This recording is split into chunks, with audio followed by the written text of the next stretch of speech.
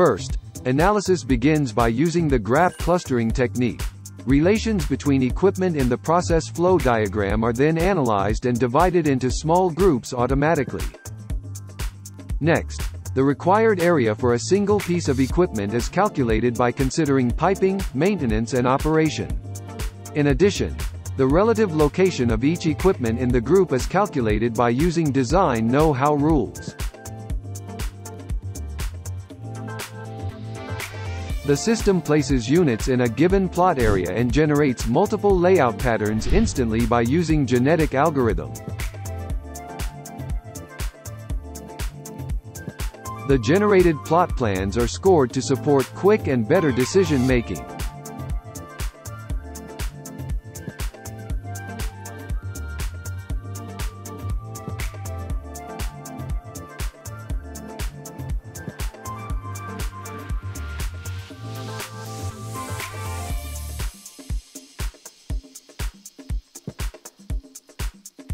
3D plot plan provides a clear view of an outline and assists with human design decisions.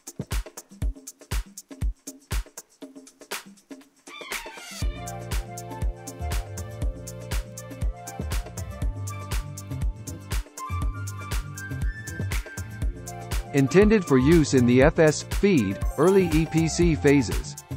By making proposals featuring new design technology, we get closer to the true needs of our customers.